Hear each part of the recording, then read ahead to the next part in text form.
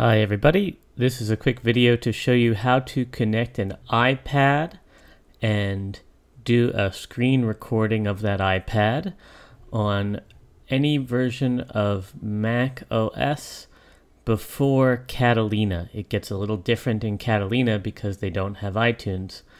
So I've got iTunes here pulled up. I'm going to connect an iPad for the first time by plugging it in and I'll unlock it with my fingerprint. And it will say do I want to allow this computer to access it? I will say yes.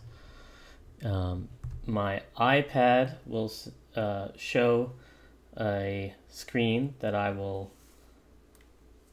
put into this video now.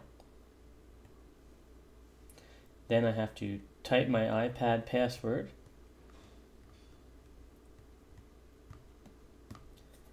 And then once that's done, this message will go away. The iPad will appear in iTunes momentarily. There it is.